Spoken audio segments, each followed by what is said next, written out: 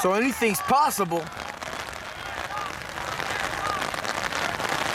Javon Lewis out right now to hurt you. Your run game is is a, is a little shut down.